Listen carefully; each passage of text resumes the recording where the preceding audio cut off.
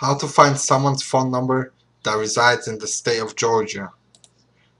Go to xphonebook.com, exphonebook.com, click on phonebook or you can use the search.